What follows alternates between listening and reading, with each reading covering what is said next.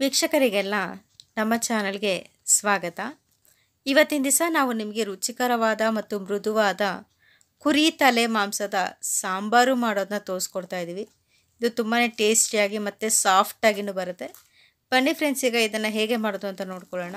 ಈಗ ಇದಕ್ಕೆ ಮೊದಲಿಗೆ ಸುಮಾರು ಒಂದು ಕೆ ಜಿಯಷ್ಟು ತಲೆ ಮಾಂಸವನ್ನು ತೊಗೊಂಡಿದ್ದೀವಿ.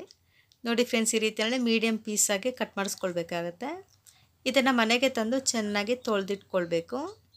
ಈಗ ಇದನ್ನೆಲ್ಲ ಚೆನ್ನಾಗಿ ತೊಳೆದಿಟ್ಕೊಂಡಿದ್ದೀವಿ ಈಗ.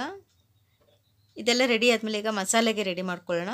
ಮೊದಲಿಗೆ ಒಂದು ಸ್ವಲ್ಪ ಹಸಿ ತೆಂಗಿನಕಾಯಿ ತುರಿ, ಒಂದು ಗೆಡ್ಡೆಯಷ್ಟು ಬೆಳ್ಳುಳ್ಳಿ, ಒಂದು ಇಂಚಷ್ಟು ಶುಂಠಿ, ಒಂದು ಅರ್ಧ ಸ್ಪೂನಷ್ಟು ಕಾಳು ಮೆಣಸು, ಒಂದು ಸ್ವಲ್ಪ ಸೋಂಪು ಕಾಳು, ಮೂರು ಏಲಕ್ಕಿ, ಮೂರು ಚಕ್ಕೆ, ಎರಡು ಅನಾನಸು ಏಳರಿಂದ ಎಂಟು ಲವಂಗ, ಎರಡು ಟೊಮೆಟೊ ಹಣ್ಣು ಮತ್ತೊಂದು ಸ್ವಲ್ಪ ಈರುಳ್ಳಿ ಕೊತ್ತಂಬರಿ ಸೊಪ್ಪು.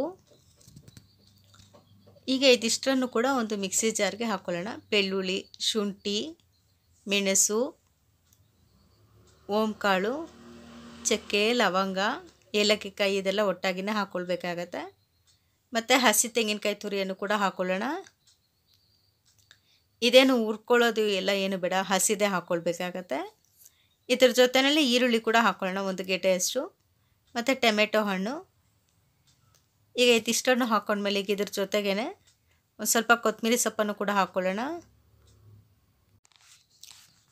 ಈಗ ಈ ಕೊತ್ತಂಬರಿ ಸೊಪ್ಪು, ಟೊಮೆಟೊ, ಈರುಳ್ಳಿ ಎಲ್ಲ ಹಾಕ್ಕೊಂಡಾದ್ಮೇಲೆ ಇದ್ರ ಜೊತೆಗೇ ಧನಿಯಾ ಪೌಡರನ್ನು ಕೂಡ ಹಾಕ್ಕೊಳ್ಳೋಣ ಒಂದು ಸ್ಪೂನಷ್ಟು.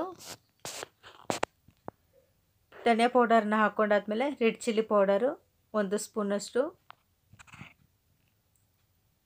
ಒಂದರಿಂದ ಒಂದೂವರೆ ಸ್ಪೂನಷ್ಟು ಹಾಕ್ಕೊಳ್ಬೇಕಾಗತ್ತೆ ನಿಮಗೆ ಖಾರ ಎಷ್ಟು ಬೇಕೋ ಅಷ್ಟು ನೋಡ್ಕೊಂಡು ಹಾಕ್ಕೊಳ್ಳಿ ಈಗ ಇದಿಷ್ಟನ್ನು ಹಾಕ್ಕೊಂಡ್ಮೇಲೆ ಒಂದು ಸ್ವಲ್ಪ ನೀರು ಹಾಕ್ಕೊಂಡು ನುಣ್ಣಗೆ ಪೇಸ್ಟ್ ಥರ ಮಾಡ್ಕೊಳ್ಬೇಕಾಗತ್ತೆ. ಆದಷ್ಟು ನುಣ್ಣಗಿದ್ರೆ ಒಳ್ಳೆಯದು ಸಾಂಬಾರುಗಳಿಗೆಲ್ಲ.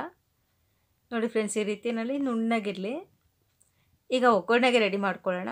ಒಲೆ ಮೇಲೆ ಒಂದು ಕುಕ್ಕರನ್ನು ಇಟ್ಕೊಂಡು ಎರಡರಿಂದ ಮೂರು ಸ್ಪೂನಷ್ಟು ಎಣ್ಣೆ ಹಾಕ್ಕೊಳ್ಳೋಣ ಈಗ ಎಣ್ಣೆ ಎಲ್ಲ ಸ್ವಲ್ಪ ಬಿಸಿ ಆದಮೇಲೆ ಸ್ವಲ್ಪ ಸಾಸಿವೆಯನ್ನು ಹಾಕ್ಕೊಳ್ಬೇಕಾಗತ್ತೆ ಈಗ ಈ ಸಾಸಿವೆ ಎಲ್ಲ ಚೆನ್ನಾಗಿ ಚಿಟ್ಲೋದಕ್ಕೆ ಬಿಡೋಣ. ಈಗ ಇನ್ನೇನು ಸಾಸಿವೆ ಎಲ್ಲ ಚಿಡ್ಲಿತಾ ಇದೆ ಅನ್ನುವಾಗ ಒಂದು ಗೆಡ್ಡೆಯಷ್ಟು ಸಣ್ಣಗೆ ಕಟ್ ಮಾಡಿ ಇಟ್ಕೊಂಡಿರುತ್ತೆ ಈರುಳ್ಳಿಯನ್ನು ಹಾಕ್ಕೊಳ್ಳೋಣ ಈಗ ಈರುಳ್ಳಿ ಎಲ್ಲ ಸ್ವಲ್ಪ ಫ್ರೈ ಆಗಲಿ, ಹಸಿ ವಾಸನೆ ಹೋಗೋವರೆಗೂ ಸ್ವಲ್ಪ ಫ್ರೈ ಮಾಡ್ಕೊಳ್ಳೋಣ. ಈಗ ಇದೆಲ್ಲ ಒಂದು ಸ್ವಲ್ಪ ಹಸಿ ವಾಸನೆ ಹೋಗಿದೆ, ಸ್ವಲ್ಪ ಕಲರ್ ಕೂಡ ಚೇಂಜ್ ಆಗ್ತಾ ಇದೆ ನೋಡಿ ಫ್ರೆಂಡ್ಸ್ ಈಗ. ಇದೇ ಟೈಮ್ನಲ್ಲಿ ಎಣ್ಣೆಗೆ ಇದಕ್ಕೆ ಚೆನ್ನಾಗಿ ತೊಳೆದು ಇಟ್ಕೊಂಡಿರೋಂಥ ಈ ಕುರಿ ತಲೆ ಮಾಂಸವನ್ನು ಹಾಕ್ಕೊಳ್ಳೋಣ ಈ ಒಗ್ಗರಣೆ ಎಣ್ಣೆಯಲ್ಲಿ ಒಂದು ನಿಮಿಷ ಚೆನ್ನಾಗಿ ಫ್ರೈ ಮಾಡ್ಕೊಳ್ಬೇಕಾಗತ್ತೆ. ಈ ರೀತಿಯಲ್ಲಿ ಫ್ರೈ ಮಾಡ್ಕೊಳ್ಳೋದ್ರಿಂದ ಸ್ವಲ್ಪ ಸಾಫ್ಟ್ ಆಗುತ್ತೆ ಅನ್ನೋ ಕಾರಣಕ್ಕೋಸ್ಕರ ಈ ರೀತಿಯಲ್ಲಿ ಮಾಡ್ಕೊಳ್ಬೇಕಾಗತ್ತೆ. ಈಗ ಇದೊಂದು ನಿಮಿಷ ಚೆನ್ನಾಗಿ ಫ್ರೈ ಆದಮೇಲೆ ಈಗ ಇದಕ್ಕೆ ರುಚಿಗೆ ತಕ್ಕಷ್ಟು ಕಲ್ಲುಪ್ಪನ್ನು ಹಾಕ್ಕೊಳ್ಳೋಣ ಇದ್ರ ಜೊತೆನಲ್ಲಿ ಈಗ ರೆಡ್ ಚಿಲ್ಲಿ ಪೌಡರನ್ನು ಕೂಡ ಹಾಕ್ಕೊಳ್ಬೇಕಾಗತ್ತೆ ಆಗಲೇ ಮಸಾಲೆಗೂ ಕೂಡ ಹಾಕ್ಕೊಂಡಿದ್ದೀವಲ್ವ ಈಗ ಇದಕ್ಕೂ ಕೂಡ ಹಾಕ್ಕೊಳ್ಬೇಕಾಗತ್ತೆ ಇದ್ರ ಜೊತೆನಲ್ಲಿ ಒಂದು ಸ್ವಲ್ಪ ಅರಿಶಿನ ಪುಡಿಯನ್ನು ಹಾಕ್ಕೊಂಡು ಈಗ ಒಂದ್ಸಲಿ ಮತ್ತೆ ಮಿಕ್ಸ್ ಮಾಡ್ಕೊಳ್ಳೋಣ. ಈ ರೀತಿಯಲ್ಲಿ ರೆಡ್ ಚಿಲ್ಲಿ ಪೌಡರ್ ಮತ್ತು ಅರಿಶಿನ ಪುಡಿ ಉಪ್ಪು ಏಕೆ ಹಾಕ್ಕೊಳ್ಳೋದು ಅಂತಂದರೆ, ಈ ಮಟನ್ಗೆಲ್ಲ ಚೆನ್ನಾಗಿ ಖಾರ ಇಟ್ಕೊಳ್ಳಿ ಅನ್ನೋ ಇದಕ್ಕೋಸ್ಕರ ಮಸಾಲೆನಲ್ಲಿ ಹಾಕಿರೋದು ಸಾಂಬಾರಿಗೆ ಆಗುತ್ತೆ. ಈ ರೀತಿಯಲ್ಲಿ ಮಟನ್ಗೆ ಹಾಕೊಳ್ಳೋದ್ರಿಂದ ಇದು ಮಟನ್ನು ಕೂಡ ಚೆನ್ನಾಗಿ ಇಟ್ಕೊಳ್ಳುತ್ತೆ ಅನ್ನೋ ಇದಕ್ಕೋಸ್ಕರ.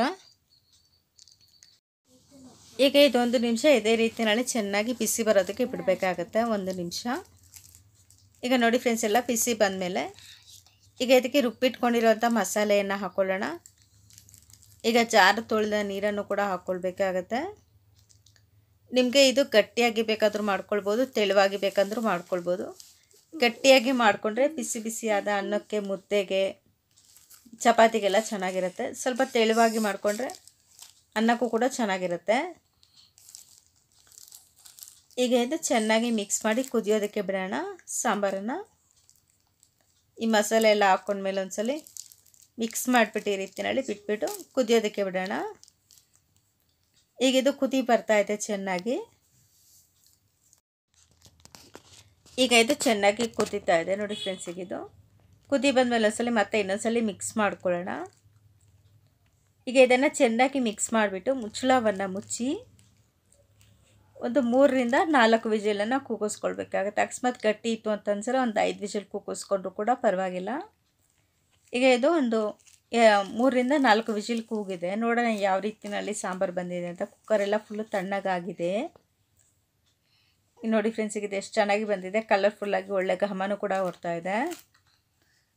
ಈಗ ಇದು ರುಚಿಕರವಾದ ಮತ್ತು ಮೃದುವಾದ ಕುರಿ ತಲೆ ಮಾಂಸದ ಸಾಂಬಾರು ರೆಡಿಯಾಗಿದೆ. ನೋಡಿದ್ರಲ್ವಾ ಫ್ರೆಂಡ್ಸ್ ಎಷ್ಟು ಸುಲಭವಾಗಿ ರುಚಿಕರವಾದ ಕುರಿ ತಲೆ ಮಾಂಸದ ಸಾಂಬಾರು ಮಾಡ್ಬೋದು ಅಂತ. ನೀವು ಕೂಡ ಮನೆಯಲ್ಲಿ ರೀತಿ ಟ್ರೈ ಮಾಡಿ ನೋಡಿ. ಮತ್ತು ಯಾವ ರೀತಿ ಬಂತು ಅಂತ ಕಮೆಂಟ್ಸ್ ಮೂಲಕ ನಮಗೆ ತಿಳಿಸಿ ಲೈಕ್ ಮಾಡಿ ನಮ್ಮ ಚಾನಲ್ಗೆ ಸಬ್ಸ್ಕ್ರೈಬ್ ಮಾಡಿ. Thank you friends